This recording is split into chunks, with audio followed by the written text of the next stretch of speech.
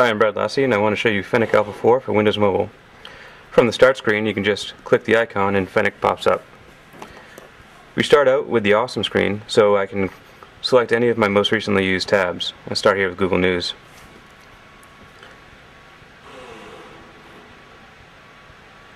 As it starts to come in, you can pan around, pan all the way down the bottom, and even zoom in.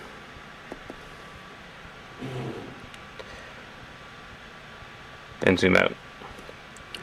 Uh, off to the right, I've got my navigation controls. I can go back forward or bookmark the page. That allows me to edit the bookmark after it's already been created.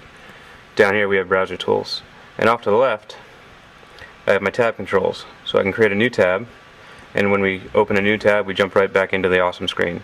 Uh, I can even just type in the first letter of a page I want to go to if it's not in my uh, first list, and we can load the New York Times.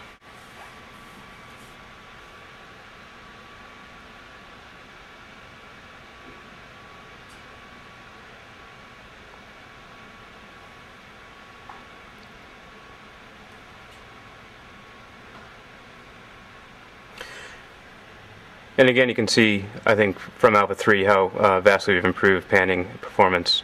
Uh, now I'll show you those browser tools that I mentioned earlier. You see you've got your download manager, your preferences, and I think the best part about this is the mobile add-ons. Um, you can search the catalog right here, or we recommend a few that have uh, been very popular. My favorite is Weave Sync, and that syncs all your uh, history, your bookmarks, and your passwords, so you don't have to type them in on your on your mobile.